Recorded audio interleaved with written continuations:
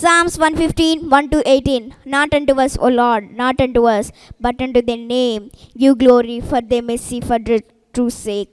Wherefore should they hath, and there is now their God. But our God is in heaven, he hath done whatsoever he hath pleased. Their idols are silver and gold, they yoke of men's hands. They have mouths, but they speak not. Eyes have they, but they see not. They have ears, but they hear not.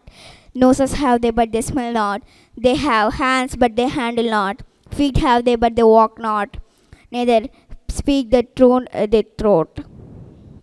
They that make, they are like unto them, so is everyone trusteth in them. O Israel, trust in the Lord, he is their help and their shield. O house of Aaron, trust in the Lord, he is their help and their shield. They that fear the Lord, trust in the Lord, he is their help and their shield. The Lord hath been mindful of us. He will bless us. He will bless the house of Israel. He will bless the house of Aaron. He will bless them that fear the Lord, both small and great. The Lord shall increase you more and more, you and your children. Ye are blessed of the Lord, which made heaven and earth.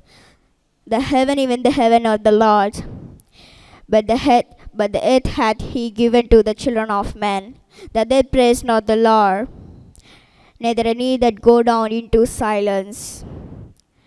But we will bless the Lord from this time forth and forevermore. Praise the Lord.